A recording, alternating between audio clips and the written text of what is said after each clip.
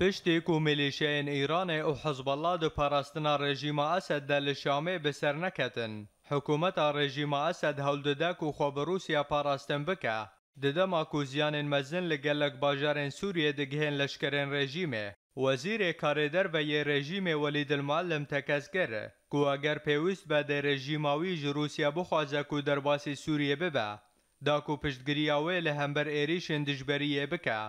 پشتی لاوازبوونا ئارتێشە ئەسەد لەگەلەک دەڤەرێن سووریە هەروسا المعلم دازانین کووت لەشکەر یان ئامورێن لەشکری یەن رووسیا دەرباسی سووریە نەبوونە پشتێک و گەلەک وێنەیەن لەشکرێن ڕوسی لە هەمبەر ئارتێشا ڕێژیمێ هاتن بەلاوکردن و بە تایبەتیژی لە پارێزگاها لازقیە گۆروسیا بالافرێن بە گواستنا تانکان دەرباسی بالافرخانەیە لەشکریە لازقیە کرە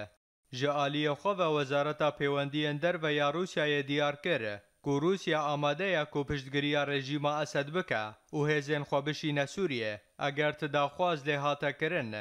د هەمان مژارێدا وەزارەتە بەڕەوانیە ئەمریکی پێنتاگۆن داخویانی کردن گوێ بە وەزارەتە بەڕەوانیە رووسیرە لەسەر ڕەوشە سووریە دڕیا پەیوەندیان تەلەفۆنیدا دانوستاندن پێکانینە û herduha lîgê han rêkeftinekê ku hêzên Rûsî û firokeyên Amerîkayê yên ku şerê Daişê li Sûriyê dikin nêzî hev nebin da ku tevlihevî çênebin. Hevdem wezîrê karê derveyê Amerîkayê John Kerry berê xwe dide Brîtanya. Da ku danostandina li ser asta leşkerî bi welatê Rûsyayê re bo rewşa Sûriyê bike. Herûsa Kerry da zanîn ku nîşanên Amerîkayên sereke li ser rewşa Sûriyê hîn ew in ku rêxistina Daişê û terorê li Sûriyê têk bibe. و چارەسەری یەکە سیاسی بێ ڕێژیمە ئاسەد لە سووریە بینە،